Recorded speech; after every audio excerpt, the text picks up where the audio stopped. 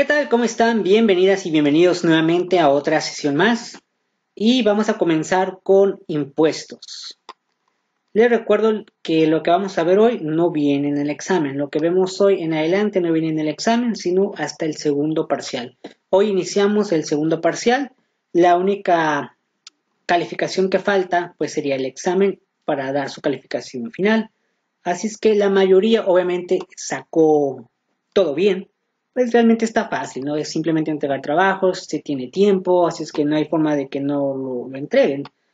Y pues la participación pues también está fácil, simplemente pues comentar ahí lo que se ve en clase, o sea que está realmente fácil. Aquí el único complicado tal vez sería el examen. Al final voy a dar el aviso sobre el examen y de qué manera pues lo van a recibir. Así es que vamos a comenzar con impuestos y vamos a empezar con el artículo 12 del Código Fiscal de la Federación. Vamos a analizarlo. Les recuerdo, estos impuestos y de aquí en adelante solamente es segundo parcial. Bueno, vamos a comenzar. Artículo 12. En los plazos fijados en días no se contarán los sábados, los domingos, ni el primero de enero, el primer lunes de febrero en conmemoración del 5 de febrero, el tercer lunes de marzo en conmemoración del 21 de marzo, el primero y 5 de mayo, el 16 de septiembre y el tercer lunes de noviembre en conmemoración del 20 de noviembre y el primero de diciembre de cada seis años, cuando corresponda a la transmisión del Poder Ejecutivo y el 25 de diciembre. Prácticamente te está diciendo cuándo no es laborable para las autoridades fiscales ese día. Estos días mencionados para la autoridad fiscal no es laborable, es decir, no te pudiera requerir o hacer una auditoría o algo por el estilo. Hay que aclarar que se tiene previsto para el siguiente año quitar esto. Cuando dice aquí los domingos, bueno, esta parte no, dice primero de enero, esa tampoco no modifica, el primer lunes de febrero en conmemoración del 5 de febrero. Se tiene y se pretende quitar esto, ya que aquí nomás con que sea lunes, el primer lunes del mes, no hay trabajo, vaya cuando realmente debería ser el 5 de febrero. El 5 de febrero obviamente puede caer un lunes, puede caer un martes, un jueves, un viernes, un sábado, un domingo. Obviamente si cae de lunes a viernes, pues para todos es más beneficio. ¿Por qué? Porque pues no vas a trabajar, pero la mayoría podemos decir que descansan sábados o domingos. Si cae un día domingo o un día sábado, pues resultó que es tu día de descanso, ¿no? Entonces posiblemente cambien esto el próximo año, así es que por lo pronto es así. Luego dice, tampoco se contarán en dichos plazos los días en que tengan vacaciones generales las autoridades fiscales federales, excepto cuando se trate de plazos para la presentación de declaraciones y pago de contribuciones. Curiosamente, cuando hay que recibir dinero, sí se puede hacer, ¿no? Y exclusivamente en cuyos casos esos días se consideren hábiles. No son vacaciones generales las que se otorgan en forma escalonada. Entonces, pues ahí te especifica, ¿no? En los plazos establecidos por periodos y aquellos en que se señale una fecha determinada para su extinción, se computarán todos los días. Cuando los plazos se fijen por mes o por año, sin especificar que sean de calendario, se entenderá que en el primer caso el plazo incluye el mismo día del mes de calendario posterior a aquel en que se inició y en el segundo, el término vencerá el mismo día del siguiente año de calendario aquel en que se inició en los plazos que se fijen por mes o por año, cuando no existe el mismo día en el mes de calendario correspondiente, el término será el primer día hábil siguiente al mes de calendario.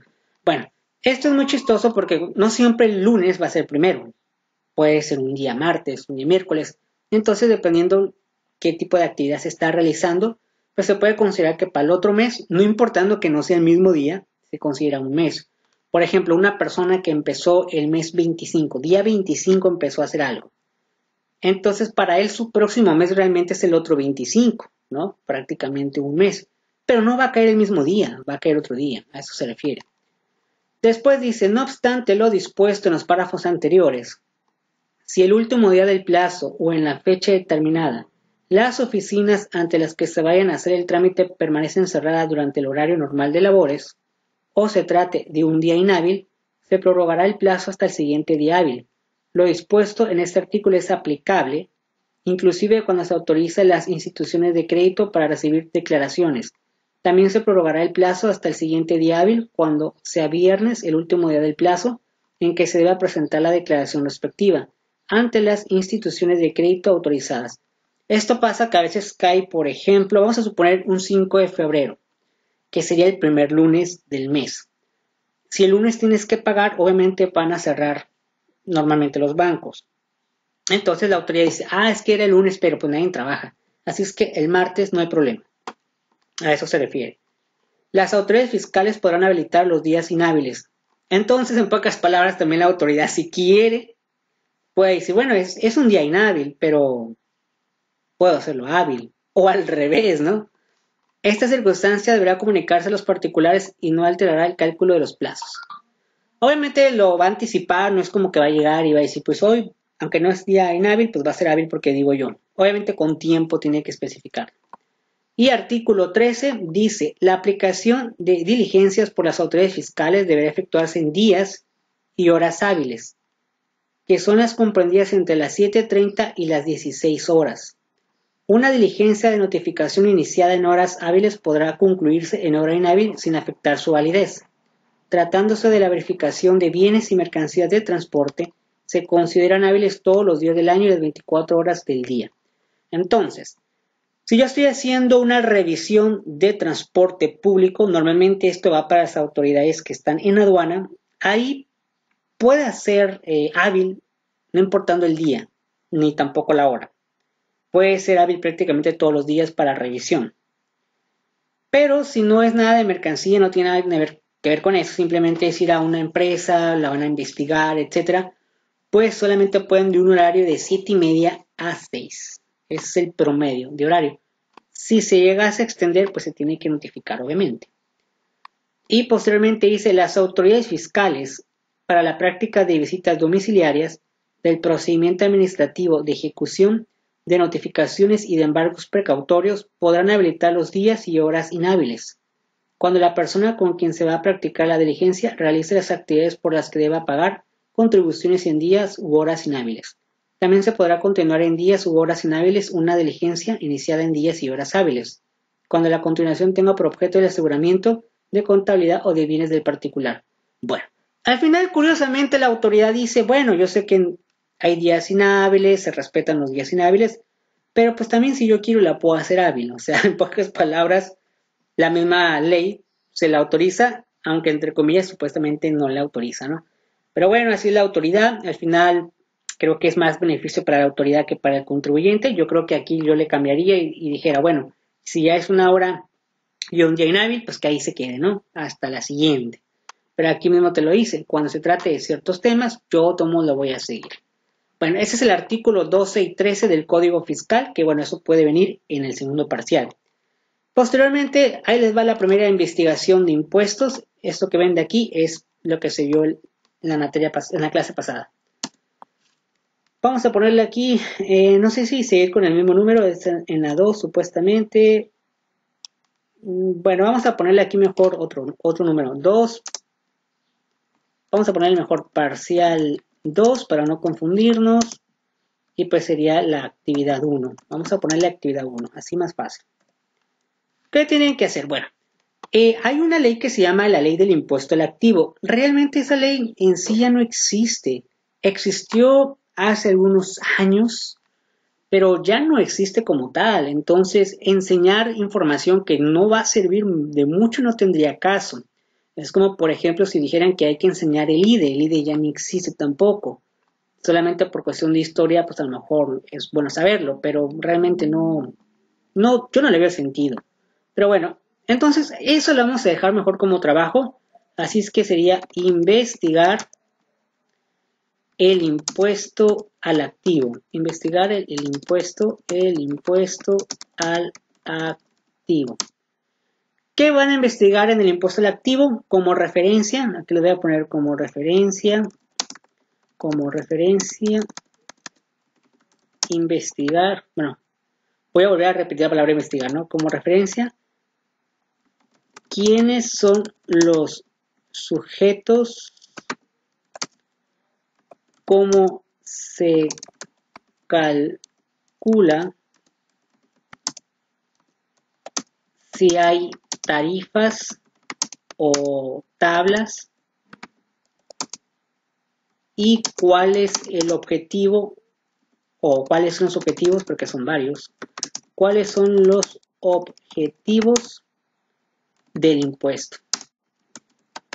Y también información adicional que ustedes quieran, adicional, que quieran añadir. ¿Qué les parece? Quieran añadir. Yo sé que muchos dijeron, no, pues no queremos añadir más, ¿no? Información adicional que quieran añadir. Esta investigación la van a hacer de dos formas. Sería en, en modo presentación, como si fueran a exponer. Obviamente no van a exponer. En modo presentación y en Word como si fuera a entregar trabajo. Creo que hasta ahí sería prácticamente la tarea de impuestos, digo, al menos que salga algo ahorita con respecto al siguiente tema, pero sería así como para empezar a calentar motores, ¿no? Al final vuelvo a repetir las tareas para aquellos que medio llegaron tarde o están despistados. Posteriormente, siguiente tema. Vamos a hablar sobre la ley del impuesto al valor agregado, que yo creo que son de las leyes que no importando si te dedicas no a la cuestión administrativa, contable, fiscal, financiera, de todas formas te aplica, ¿no? Y la mayoría, pues la gente piensa que el IVA es simplemente en alimentos, ¿no? Dice, ah, voy a comprar algún producto, IVA. No necesariamente es para eso también. Así es que vamos a analizar el artículo 1. En este sí hay que irnos un poco despacio porque la información es relevante, así es que vámonos por partes. Ley del impuesto de valor agregado. Eh, tiene mucha historia este impuesto, más o menos un aproximado ahí en los años 75, 76. De hecho, para la siguiente clase les voy a mostrar un poquito de la historia del impuesto al valor agregado. Y pues antes existía uno, que no era precisamente el IVA, pero casi era similar. Pero lo quitaron para poner este. Y bueno, pues en todas partes del mundo existe un impuesto similar, que puede llamarse a lo mejor de otra manera, pero al final es lo mismo, ¿no? Hay países donde el impuesto es mucho más alto que nosotros y aún así pues la gente se, se queja pero yo creo que la gente se queja no tanto porque el impuesto esté elevado, sino que a veces no lo estamos viendo, no estamos viendo que realmente se maneje como debe ser, ¿no? Pero bueno, ya en su momento, en la siguiente clase vamos a ver un poquito sobre la historia. Vamos de entrada con eh, la ley del impuesto de valor agregado. Aquellos que, que tienen su fisco agenda de manera física, lo tienen en su libro. Recuerden que esa es su Biblia a partir de ahora. Y pues yo les recomiendo que, mm, ¿saben qué? Y modos, otra vez va a tener que repetir. El índice del IVA es importante. Realizar el índice del IVA. Así como lo hicieron del código fiscal, sería igual. Título, bueno, la ley, título, capítulo, si lo hay. ¿Por qué tienen que hacer eso? Bueno, el objetivo es que ustedes lo aprendan y sepan cómo está dividida y cómo está registrada y en qué artículo aproximado se encuentra tal ejemplo o tal cuestión. Así es que serían dos trabajos, por lo pronto, de impuestos. Realizar el índice del IVA. Vamos a ponerle aquí como parcial 2, actividad 2. Y bueno, vamos a empezar con nada más con el artículo 1. Ok, empezamos Ley del Impuesto de Valor Agregado, capítulo 1, disposiciones generales. Y el artículo 1, están obligadas al pago del impuesto al valor agregado establecido en esta ley las personas físicas y las morales. Ustedes ya saben quiénes son personas físicas, quiénes son personas morales y sobre todo en territorio nacional. Realicen los actos o actividades siguientes. Enajenen bienes ¿Enajenas bienes? Sí, pagas IVA. Presten servicios independientes. ¿Prestas un servicio independiente tú? Ah, sí, pagas IVA. Otorguen el uso o goce temporal de bienes. ¿Otorgas el uso o goce temporal de bienes? Sí, pues pagas IVA. ¿Importen bienes o servicios? ¿Importas bienes o servicios? Sí, pues pagas IVA. Estas son las actividades principales de pago de IVA la mayoría de las personas conocen cuando uno va de compras o ciertos productos, pero hay otras cosas que también lo aplican. El impuesto se calcula aplicando a los valores que señala esta ley la tasa del 16%. El impuesto al valor agregado en ningún caso se considerará que forma parte de dichos valores. Entonces la tasa realmente es 16%. Obviamente sé que algunos lugares aplican el 8. Este de aplicar el 8% es simplemente un estímulo las empresas que, bueno, aplicaban la regla, les interesaba, cumples con los requerimientos, si sí cumplo, puedes cobrar el 8. Pero no todos lo hacen. Voy a poner un ejemplo. Muchos de ustedes pagan teléfonos, por ejemplo, Telmex, Telnor. No me consta exactamente de Telcel, pero lo más seguro que sí. Y vean su recibo y cuánto les cobran de la tasa del IVA. Oh, sorpresa, les cobran el 16. ¿Vas a retirar dinero de tu tarjeta de crédito? Uh, ¿qué crees? Te van a cobrar el 16. ¿Dónde quedó el 8% entonces, no? Después dice, el contribuyente trasladará dicho impuesto en forma expresa y por separado a las personas que adquieran los bienes, los usen o gocen temporalmente o reciban los servicios se entenderá por traslado del impuesto el cobro o cargo que el contribuyente debe hacer a dichas personas de un monto equivalente al impuesto establecido en esta ley, inclusive cuando se retengan en los términos de los artículos del 1 a tercer, tercer párrafo o 18J fracción 2 inciso A de la misma. Pero aquí prácticamente te menciona que mucha gente también piensa que cuando va a un lugar y le cobran IVA, dice, y esa tienda cómo cobra IVA? Claro, se lo queda, pero no es así. Desgraciadamente todas las personas que cobran IVA y cuando tú pagas IVA realmente no es para la empresa o el comercio que le pagaste de más. Realmente ese dinero es de la autoridad. Así es que le trabajamos de gratis también para hacer esos cálculos. Entonces por eso te dice en ese párrafo. Bueno, al final de cuentas lo tienes que expresar tal y separármelo dependiendo qué tipo de impuesto de IVA vaya a aplicar y me lo especificas y después me lo regresas a mí como autoridad. Pero no es tu, no es tu dinero. Mucha gente sí piensa a veces de que ah, es el dinero de la empresa. No, claro, me cobran IVA, pues sí. Pero no, realmente la empresa también tiene que hacer lo mismo. Ah, aquí está autoridad. Todo lo que recaudé de, de IVA, pues aquí está. Y pues se queda con las manos vacías las empresas. El contribuyente pagará en las oficinas autorizadas la diferencia entre el impuesto a su cargo y el que le hubiera trasladado o el que hubiese pagado en la importación de bienes o servicios, siempre que sean acreditables en los términos de esta ley. En su caso, el contribuyente disminuirá del impuesto a su cargo el impuesto que se le hubiera retenido. A veces puede pasar que esto ya está más enfocado para empresas, no tanto para una persona común, normal, que va a una tienda, va a comprar algún mueble, etc. Esto va más para personas empresas ya que realmente están registradas, que realmente se dedican a eso, pues a veces tú como empresa pues vas a comprar, pero también tú como empresa vas a vender. Entonces hay un impuesto, digamos, como a favor, entre comillas, no es tu dinero, vuelvo y repito, no es tu dinero. De alguna manera tú le cobras a muchas personas, pero tú también vas a tener que pagar. Entonces, digamos que está el positivo y el negativo. Entonces, a veces puede ser que sea más positivo, puede ser que sea más negativo, dependiendo cómo fueron tus ventas. Sea lo que sea, tú tienes que decirle a la autoridad lo que es, para que no, te metas en problemas. El traslado del impuesto a que se refiere este artículo no se considerará violatorio de precios o tarifas, incluyendo las oficiales. Es decir, no incluyas lo tuyo. La autoridad quiere que tú le determines el IVA, todavía de que todavía tienes que pagar impuestos, todavía tú lo tienes que hacer, ¿no? Y vamos a ver, eh, el artículo 1 está bastante extenso. Entonces yo creo que se lo vamos a dejar para la siguiente clase mejor. Para irnos un poquito con más pausa y no llevarme mucho en el IVA. Porque el IVA sí es interesante. Sí es más como importante.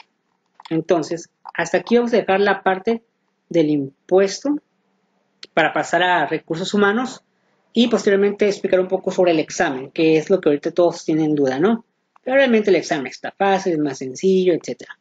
Bueno, solamente para concluir son dos actividades nada más las que hay que hacer. Actividad 1. Investigar el impuesto al activo como referencia, quiénes son los sujetos, cómo se calcula, si hay tarifas o tablas y cuáles son los objetivos del impuesto. Ok, entonces ustedes van, investigan sobre la ley del impuesto al activo y ustedes tienen que explicar quiénes son los sujetos del impuesto. ¿A qué se refiere eso? Bueno, ¿quién está obligado a pagar el impuesto al activo o quién estaba obligado? ¿Hay tasas o tarifas en esa ley o no existen? Todo eso tienen que hacerlo. Recuerden que lo van a hacer de dos modalidades. Una como si fueran a hacer una presentación. Obviamente no van a exponer, pero como si fueran a exponer en sus presentaciones de diapositivas, hay que hacerlo. Y la otra de manera escrita para que una vez vayan adelantándose al portafolio. Entonces, ahí está. La siguiente actividad es realizar el índice del IVA y ese sí lo vamos a analizar un poquito más a detalle para que tengan referencia de los artículos, ¿no? Y prácticamente esa parte sería de impuestos. Vamos a ponerle aquí un espacio porque vamos a ir con recursos humanos. Y pues nos vamos a recursos humanos. Vamos a empezar en la parte que dice cuestiones sociales de el recurso humano o la administración de recursos humanos. Recuerden, todo lo que veamos el día de hoy va a ser para parcial 2, para que no vayan a pensar que esto también va a venir. Cambios demográficos. Esta circunstancia esencial de muchas cosas para todos los aspectos de la administración de recursos humanos, pues modifica la experiencia y las expectativas sobre la mano de obra. En esta área se pueden mencionar los siguientes temas. Productividad, desarrollo de habilidades, presentación de jubilación, aportaciones a la seguridad social. Bueno, estos temas que estamos mencionando, pues el recurso humano los tiene que tomar en cuenta. Aparentemente dice, bueno, pues eso tiene que ver con, más que nada con un empleado, ¿no? Por ejemplo, en la parte de la productividad, si bien es cierto, tú contratas a una persona y digamos, hasta ahí es tu trabajo, se puede decir, pero la empresa debería de enseñar a ser más productivo. Al final de cuentas, vamos a ser honestos, como empresas, el precio que le pagas a una persona para hacer una actividad no siempre es el bueno o el real. Entonces, mínimo, inviértele en la capacitación. Digo, al final de cuentas, tú como empresa ganas muchísimo más y con un cierto producto tú le puedes pagar a todo tu personal. Desarrollo de habilidades. Si no sabe la persona, pues hay que capacitarlo, hay que enseñarlo. Si bien es cierto, muchas empresas son un poquito así como que, no, es que si le enseño se me va a ir. Bueno, pues sí, pero al final de cuentas, pues de eso se trata, aprender, ¿no? Prestación de jubilación, si bien es cierto, eh, el dinero que se le va a jubilar a la persona no es tanto de la empresa en la que estás trabajando, sino es mucho tiempo que trabajaste en diferentes empresas, hicieron aportaciones, etcétera, pero tú como empresa pues debes de considerar que las personas se te van a ir no porque quieren irse, no porque ya se acabó su ciclo de trabajo a nivel legal. Entonces, a lo mejor ocupas personal para ese puesto. Imagínate que se vayan las personas que a lo mejor físicamente no se ven de 60 años o 65, se ven como de 20, pero bueno, pues la ley dice es que ya se tienen que retirar del trabajo, ¿no? Entonces, ¿qué te queda? Pues sí, se me van, pero ¿yo qué hago como empresa, no? Buscar la manera de que tener un equilibrio y que no todos tus trabajadores estén en esas fechas, porque imagínate, todos están en esas fechas, todos se te van a ir. Tú como empresa tienes que capacitarlos, porque después se te van y ya no hay forma de contratarlos. Bueno, lo podrías contratar de una manera ilegal, pero creo que no sería lo bueno hacer eso, ¿no? Después, luego la aportación a la seguridad social, tome en cuenta que sí hay que pagarle a sus empleados para no meterte en problemas, ¿no? Yo sé que en la vida real esto, esto simplemente es pura teoría, pero en la vida real muchas empresas, aún sabiendo que tienen que pagar, no lo hacen. Y a veces la autoridad también lo sabe, pero mm, son cosas que a veces no podemos ver por qué sucede, ¿no? Derecho de empleador y de los empleados. En esta área refleja el viraje hacia organizaciones e individuos que tratan de definir derechos, obligaciones y responsabilidades. Entre sus temas están el empleo como derecho, el SIDA y prestaciones obligatorias. Bueno, estos temas son un poquito más para las personas que a veces van a trabajar en una empresa, ¿no? A final de cuentas, todas las empresas tienen sus reglas. A lo mejor no nos gustan las reglas, y en ciertas cosas como, vaya, características físicas o a lo mejor en tu presentación, va a haber una empresa que a lo mejor no le guste tu forma de vestir o tu forma de peinarte y a lo mejor te diga, pues que aquí todos somos pelones y pues te tienes que cortar el cabello, digo. Ha sucedido ese tipo de situaciones en las escuelas precisamente, de que pues bueno, al final de cuentas, si tienes el cabello largo, corto, eres pelón, digo, eso no te va a hacer más ni menos estudiante bueno o malo. Pero bueno, se entiende como para tener un poquito de limpieza a lo mejor, o higiene, o dar una buena presentación de la institución. Un cabello corto sería lo moderado en los hombres, ¿no? En el caso de los hombres. Pero la pregunta es, ¿qué tiene de malo que un hombre tenga el cabello más largo? No va a hacerse más inteligente o más, este, podemos decir, burro. En las escuelas suele suceder ese problema. Digo, en una escuela. En, tal vez en un trabajo no tanto, no, es tanto el cabello, ahí más bien es tatuajes, desgraciadamente alguna marca que tú tengas, porque tuviste un accidente y a lo mejor para la empresa, imagínate una persona que tiene una rajada por aquí y una rajada por acá, fue un accidente y a lo mejor es, es que tu, tu marca aquí, digo, la gente te va a ver, los clientes iban a decir, ¿y este qué le pasó? ¿Sabes qué? Te puedo dar el área de que nunca te van a ver, ¿no? Sería discriminación, ¿no? Suena un poco tonto, pero eso suele suceder. O también el físico, ¿no? Sobre todo en las empresas. Y, ¿sabes qué? Eres gordito. Eres ñoño. ¿Sabes qué? Ah, no te puedo dar el trabajo. Estás muy ñoño. Estás muy ñoño, estás muy gordo. Bájale kilos. Desgraciadamente pasa eso. O al revés. Híjole, estás muy flaca. O sea, desgraciadamente eso sucede en las empresas algunos son muy descarados y sí te lo dicen, otros no dicen nada, pero así como que busca la manera de, de de otra manera de la, empresa o decirte, ¿sabes qué? Eh, hay muchas personas que quieren entrar a la empresa. Después te hablamos. Cuando realmente tu información curricular o a lo mejor el trabajo era perfecto, pero tu físico mm, no les gustó. Desgraciadamente eso existe. Y no es porque quieran, no sé, hay personas de recursos humanos que sí son personas que discriminan. Tan solo converte, aunque es muy bueno y seas mucho mejor que otros de tus compañeros que van a entrar ahí, simplemente puede pasar lo contrario, ¿eh? o sea, a lo mejor es una persona que te ves muy bien y por verte bien, pues también te dicen, sabes que no, o sea, pasa de todo, o sea, te puedes encontrar personas de recursos humanos de todo tipo. Ya les había comentado yo en clase, Normalmente una persona que está en recursos humanos, si la muchacha es muy bonita, es una Mr. Wow, no van a contratar otra Wow igual. Suena muy tonto lo que digo, pero suele suceder. Si es hombre de recursos humanos y tú vas medio feita, no te va a contratar. Sin embargo, vas muy guau, aunque no sepas nada, te va a contratar. O sea, desgraciadamente sí existe eso. Y ahora no entremos en cuestiones de enfermedades o tendencias medio extrañas todavía. Eh, hoy en día ya como que le están bajando la cuestión de las mujeres embarazadas, pero hace muchos años era un poco discriminatorio. Eh, estás como gordita, ¿estás gordita? ¿Es el pozole o, si hay ahí como un niño? ¿no? no, pues que estoy embarazada. Ah, ok, sabes que después te hablamos, ¿no? Discriminación. Digo, al final de cuentas que tiene que ver si tiene pues, un niño, ¿no? Pero ya saben que también representa dinero, o sea, tiene que ver muchas cosas. Entonces también eso es algo complicadillo, ¿no? Y también pues la cuestión de los temas de que, ah, sabes que no, no, no te encuentro, eres hombre o eres mujer, o sea, no te encuentro, es que aquí dice una cosa y pues allá hizo otra cosa, ¿no?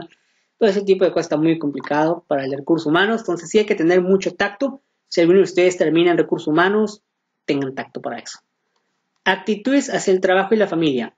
Debido a que en la actualidad existe una mayor cantidad de mujeres que trabajan, que los empleados tienen mayor movilidad y que ha surgido una mayor preocupación por las cuestiones familiares, se demanda el reconocimiento y apoyo de los asuntos relacionados con la familia, entre otros temas están guarderías, cuidado de ancianos, licencia de paternidad, horarios flexibles y rotación de puestos. Hoy en día yo he visto muchos cambios en cuestión de los trabajos. Yo creo que hace unos 20 años, los trabajos normalmente eran de lunes a, viernes o lunes a sábado, digamos, ese era lo común. Y los horarios manejados eran de 7 de la mañana, a lo mejor a 6 o tal vez hasta las 8 de la noche. Ese era lo que en ese momento o en esa época se movía. Hoy en día ya existen horarios, obviamente en la noche siempre han existido, pero ya existen como cambios de que, ah, sabes que hoy trabajas solamente 3 días y descansas 4. La otra semana vas a trabajar cuatro y descansas tres días. O sabes qué, vas a trabajar de lunes a jueves, pero desde las 7 de la mañana a 7 de la noche. Ah, pero vas a descansar bien sábados y domingos. O sabes qué, eh, vas a trabajar este, un día sí y un día no. Y dices tú, ¿cómo que un día sí y un día no? Ah, sí, pero el, primer, el día que trabajes va a ser todo el día.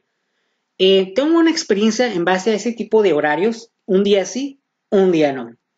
Hace mucho tiempo, cuando yo era un pasahambres, había una empresa que ese era el trabajo. Un día trabajabas y un día no, pero era así corredito. Si empezabas un lunes a trabajar, era el lunes trabajabas todo el día. Era prácticamente desde las 7 de la mañana a 7 de la noche. Pero ya mañana martes descansas. Luego miércoles trabajas. Jueves descansas. Viernes trabajas, sábado descansas y así. Todos los días así. Todos los días. Es una forma diferente de trabajo, pero obviamente no creo que para todos en algún momento dado de su vida vas, vas a decir, pues sabes que ese trabajo no es para mí, por el horario, no por lo que hacías. Entonces, hoy en día existen mucho tipo de rotaciones de trabajo, de horarios, que se han adaptado también a los cambios que hay, ¿no? Entre ellos entran también las guarderías. En el caso de las mamás, hoy en día hay más mamás que trabajan, mamás luchonas, etcétera. Y tiene que cambiar las empresas porque la mayoría, en algunos sectores de las maquiladoras, la mayoría son mujeres. Entonces, tienen hijos.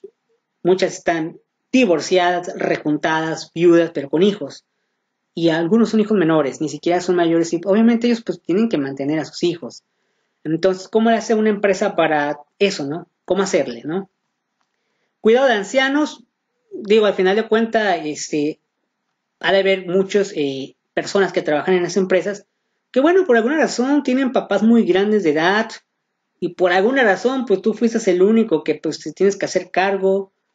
Digo, normalmente en los trabajos te van a decir, pues a mí qué, o sea, arregla tus cosas, ¿no? Pero ese tipo de situaciones, aunque es algo muy personal de la persona, a veces recae en el trabajo. Entonces, hay que tener mucho tacto con conocer a tu personal a veces, aunque no es un tema de que, hey, esa es tu responsabilidad como recursos humanos. Digo, al final tiene razón, o sea, ¿qué tengo que ver yo con el, el anciano del, del, del, trabajador que tengo? O sea, ¿a qué? Pero a veces hay que tener tacto también en esas cosas, aunque no sea tu problema, porque eso puede hacer que la persona pues no trabaje a gusto. Son muchas situaciones. La verdad, quien está en recursos humanos y hace muy bien su trabajo, sí es una responsabilidad bastante, ¿no? Licencia de paternidad, hoy en día esto ya existe en México. Normalmente las mujeres es un beneficio que siempre han tenido, que si te embarazas, pues bueno, ya te dan tus días de descanso antes y después. En cambio, si eras hombre, pues ah, por más que tú dijeras, ¿sabes qué? Pues que pues, mi esposa ese, pues, va a tener un hijo. ¿Puedo pedir permiso? Eh, sí, pero sin goce de sueldo. O sabes que, pues no, es que yo te requiero, tú eres el único que sabes y ya te sacaron muchas cosas como que tú sabes, tú aquí eres el bueno, ¿cómo puede ser? ¿Y qué hacías? Pues no, no haces nada. Pero ya está en la ley de que, bueno, mínimo una semana y pagada. Obviamente tienes que decir, hey, estoy casado, aquí está mi hijo, casi casi le vas a llevar al niño a leer cursos humanos, mira, aquí está, chiquitín. Entonces, todo esto han sido cambios, creo, buenos, ¿eh? Horarios flexibles, que ya lo habíamos hablado, hoy existe, la verdad, una infinidad de horarios que por una parte están bien porque ya aquí la persona se ajusta, ¿no? He escuchado muchas historias, sobre todo en algunos alumnos que ya están grandes, como ustedes, que tienen pues sus trabajos, ¿no? Y dicen, no, es que yo trabajo en tal empresa, ¿no? Y pues yo por eso vengo los sábados a clases. O no, pues yo vengo los domingos, en el caso de los de que van a aduanas, no, pues yo nomás puedo el domingo porque trabajo lunes a sábado. O pues el horario prefiero venir el domingo. Entonces buscan la manera de hacer otras cosas, ¿no? Y otra cosa también que a lo mejor puede ser un poco negativo es la rotación de puestos. Al ver tantos horarios y al ver muchas personas, al final de cuentas las empresas nunca van a fallar en ese sentido. El problema es que a veces las empresas no son corridas, es decir, no llevan un seguimiento porque la gente se va, por muchos motivos que ya hemos visto, ¿no? Problemas familiares, educación, pagas muy poco empresa, son muchas cosas entonces la rotación de puestos y la rotación de empleados siempre en todas partes suena muy extraño decirlo, pero hasta en las mejores familias, en las mejores empresas hay rotación de personal, aún cuando hay un recurso humano bueno. No voy a decir nombres de despachos, de Deloitte, ¿no? Ah, ya lo dije. El despacho de Deloitte es uno de los despachos más importantes, incluso internacionales. Hay uno aquí en, nuestro, en nuestra ciudad. Está ahí por, el, por la zona Río. Y así como lo ven de bonito el edificio, eh, sí es verdad, el curso, hay recursos humanos, todo muy bonito, pero hay mucha rotación de personal. Obviamente, vuelvo a lo mismo, todo muy bonito, pero ya adentro las cosas cambian. Es igual, como a pesar de que es las mejores familias. Ahora imagínense en una empresa de producción, donde ni aún así la mayoría de las personas no tienen conocimiento más que secundario mucho prepa, imagínate la rotación de personal que ha de ver, que digamos no tienen un compromiso, sin embargo en un despacho o en alguna oficina importante como que si la piensas porque tienes ese compromiso de que, ah, yo estudié tal carrera y como que tienes el compromiso, pero los que no tienen compromiso alguno, están en prepa, que no en la prepa no les interesa estudiar, se meten en una empresa X, no me gusta, me voy. Entonces sí está complicada la rotación de personal. Bueno, vamos a ver por último la reingeniería y ya después vamos a ver la forma del examen, porque si no, me voy a quedar dando clases un 24-7 de clases. Imagínense un 24-7 de clases, estaría, estaría cool eso 24-7. Bueno, reingeniería y ARH. La reingeniería requiere a menudo que los gerentes vuelvan a empezar de la nada para replantear cómo hacer el trabajo, cómo deben interactuar la tecnología y las personas y cómo estructurar organizaciones completas. Primero, la reingeniería requiere que los gerentes elaboren un entorno para el cambio y, como ya se mencionó, aspectos de RH para manejarlo. Segundo, los, esfuerzos de la ingeniería dependen de los procesos de dirección y comunicación eficaces, otras dos áreas relacionadas con la administración de recursos humanos. Y tercero, la reingeniería requiere la revisión y modificación de los sistemas administrativos, selección, descripción de puestos, capacitación, planeación de desarrollo profesional, evaluación de desempeño, compensaciones y relaciones laborales y son candidatos para el cambio, al fin de complementar y apoyar los esfuerzos de la ingeniería. Entonces, ya habíamos hablado de esos temas. Aquí, en cuestión de recursos humanos, reingeniería es como hacer modificaciones para tener un mejor eh, reclutamiento y hacer todo el proceso que hemos visto muchas veces y al final tener los empleados correctos. A eso se refiere. Bueno, hasta aquí vamos a dejar esta parte para explicar un poquito sobre el examen. De recursos humanos, todo esto realmente ya lo hemos visto incluso en otras materias no es algo nuevo, pero estaría bueno que investigaran ustedes un poquito más de la vida real. Yo creo que van a investigar sobre los horarios, para que vean que les digo es la verdad. Esto es de recursos humanos. Investigar sobre los usos horarios de trabajo en las empresas. Esto en Word no es necesario hacer presentación.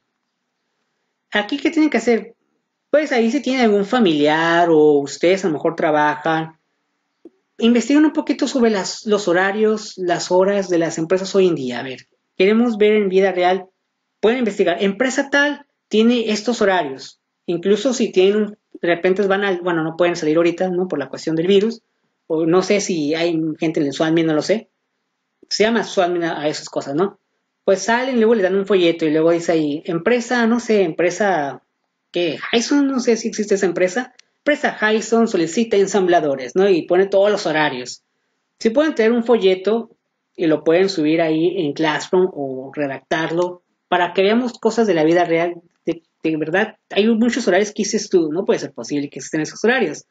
Entonces, pues si pueden poner el horario y hasta el sueldo, vamos a poner una vez el sueldo, no importa la empresa y sueldos. Hay que investigar. Entonces, investigar sobre los usos horarios, usos horarios. Ah, ya, ya lo repetí. Usos horarios de trabajo de la empresa en la empresa y los sueldos.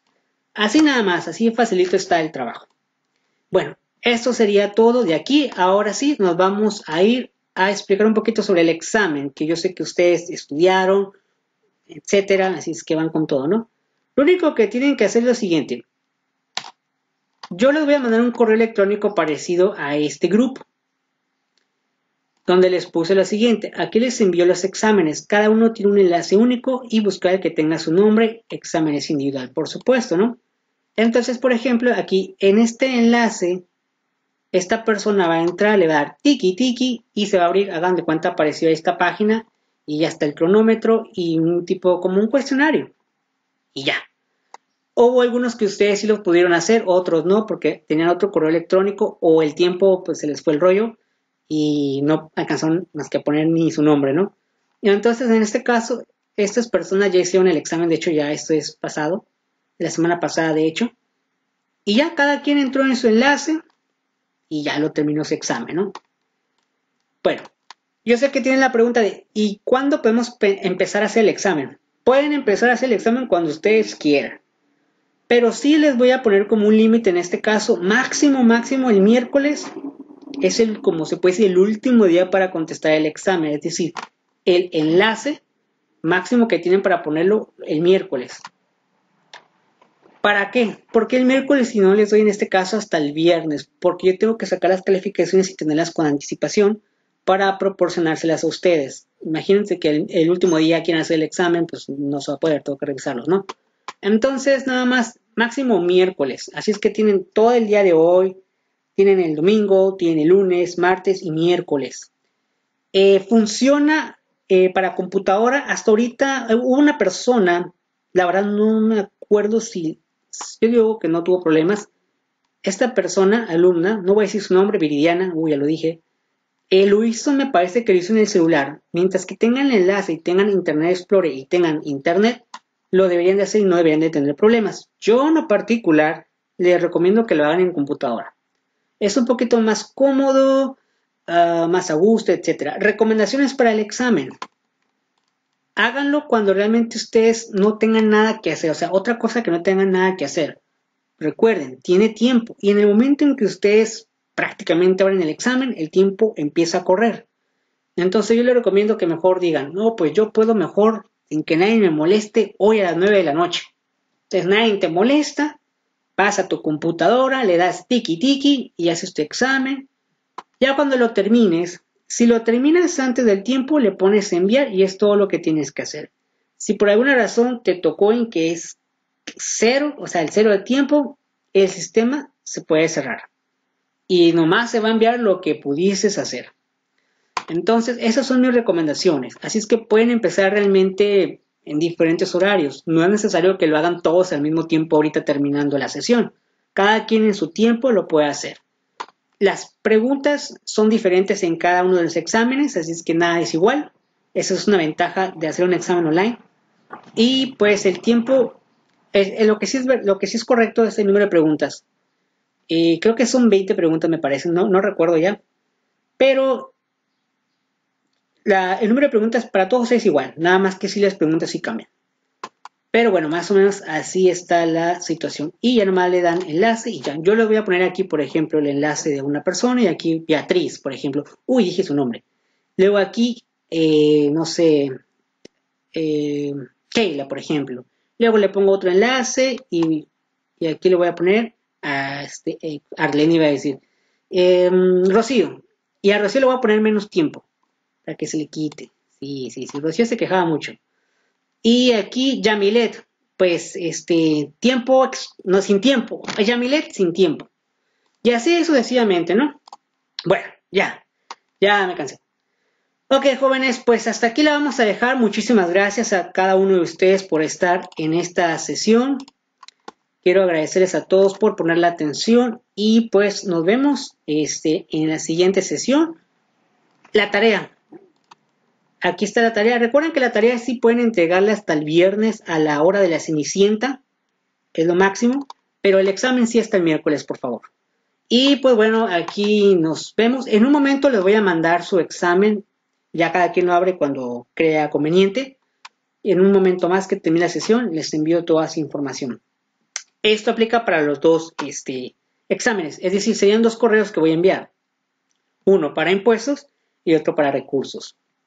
Bueno, hasta aquí la vamos a dejar. Muchísimas gracias y pues nos vemos hasta la próxima. Muchísimas gracias y hasta luego. Hasta la próxima.